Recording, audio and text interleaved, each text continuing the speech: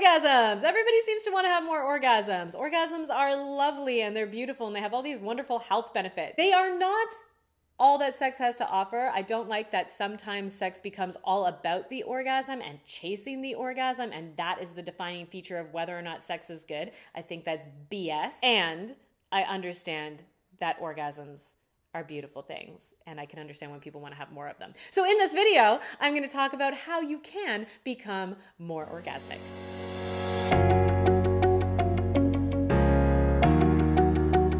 Hello, everyone. My name is Kendra. I am a counselor and somatic sex educator here at ESC. And today we're going to go over four things that can help you and your body become more orgasmic. Number one, know your body. Women take longer to arouse. In the Taoist tradition, I've shared this in another video, but they say women are like water while men are like fire. Men are quick to ignite and quicker to extinguish, whereas women take a slow time to heat, but once they're boiling, they retain that heat. So it does take time. Stats vary, but they say it can take anywhere, you know, from 20 minutes to 40 minutes for a woman's body to become fully aroused. And I think most of us know this by now. This isn't new information. Most people understand that the female body arouses differently than the male body. And I still think there's a piece of each and every one of us that tries to defy this. It's like we know that it's true rationally, but we still think that somehow there's a way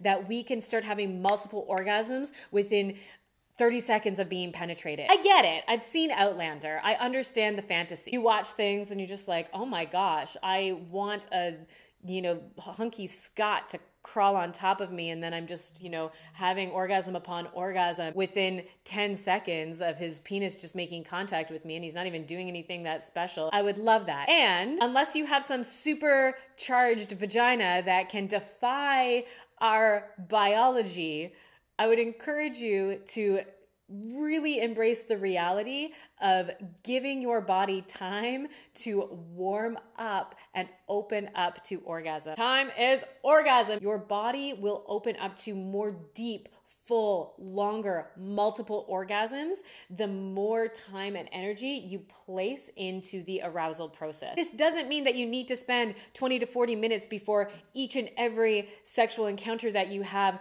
you know, doing breast massage or, or really connecting in this slow, sensual way with your partner. If you have the time to do that, great. And arousal, a lot of the time, begins in the mind. Thinking about sex, thinking about your partner, sexting, doing these sorts of things that can create a low simmer throughout your day and throughout the relationship can help it so that the boiling point is not as far away as if you're starting out stone cold. Also, there are foods that you can eat. Sarah goes over a lot of those in her video. There's different things that stimulate blood flow down into the pelvis and nourish and really balance the female hormones. Also, the more you notice pleasure, not just sexual pleasure, but any pleasure, the pleasure in that first sip of coffee or even just walking into a coffee shop and smelling the coffee or cuddling into your bed or walking into an air conditioned house out of the heat. You know, noticing little things like that that cause pleasure can also help to keep you simmering so that the boiling point is not as far off. Number two, practice alone. I am a huge proponent of masturbation. I will never stop telling people to masturbate. Not only does this give you time to really know your body and practice technique,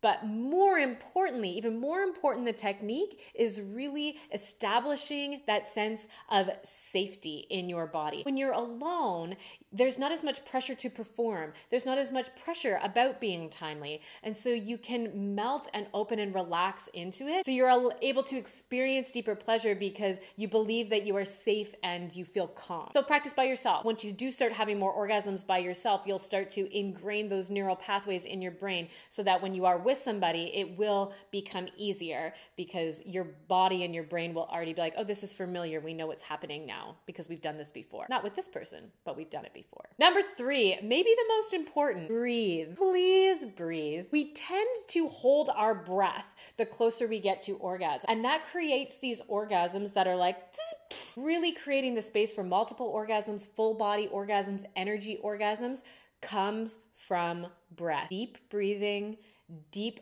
presence and awareness, and moving all of that energy through your body. So, breathing into the pelvis, breathing it and circulating it through you. A way to start practicing this is when you do notice that you're going to come, as opposed to breathing in and holding it and, and letting it peak. Exhale as you're coming and imagine it just opening and spreading through you. Number four, can you guess? It's the jade egg. Because the jade egg is this magnificent tool that can help to increase sensitivity and awareness and release tension and emotion from the vagina and really open you up to deeper, more luscious, delicious, orgasmic states. And if you are going to be using a jade egg, please use it properly, which means don't just buy one off of Amazon and throw it up your vagina and be like, we're good to go. I'm going to be an orgasm queen. That's not how it works. Learn about how to use it properly. We have some videos on this channel and we have developed a course. It's called Vagina Warrior. It's our first ESC course. We're very excited about it.